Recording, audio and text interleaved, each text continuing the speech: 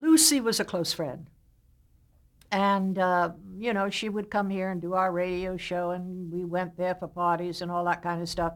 And we were both under contract to MGM at the same time. And she had been, I guess, one of my biggest fans, acting wise.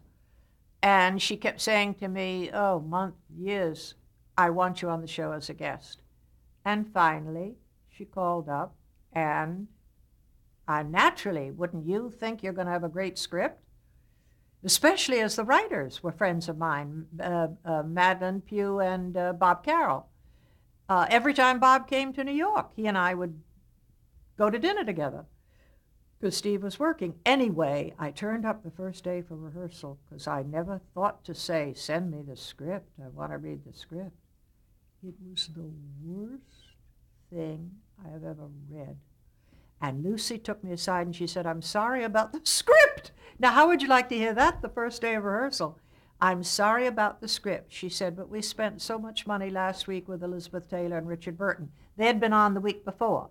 And not only did Marilyn and Bob Carroll write that one, but to give them a rest, they didn't write the one I was on. They bought it off the market for about 50 cents or something. What and, was the episode about?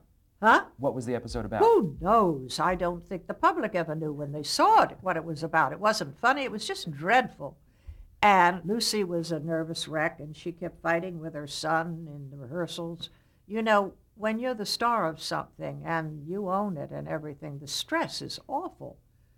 Uh, and I felt so sorry for her. Then they pick on the wardrobe and they pick on the director, and it was, and she kept saying in the first run through, I'll never forget that this is not funny. And little Lucy would say, Mom, say it. It's funny.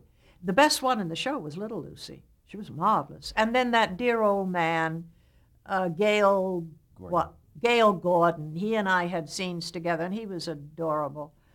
But the show was terrible. It was not funny. It didn't make sense, you know. And she told me, she said, not only did we have to pay a lot of money for everything, the dressing room, I had Lucy, I had uh, Liz Taylor's dressing room. They still had it on the set. And it was like, uh, you know, Versailles or something. She had to spend so much money to please them the week before.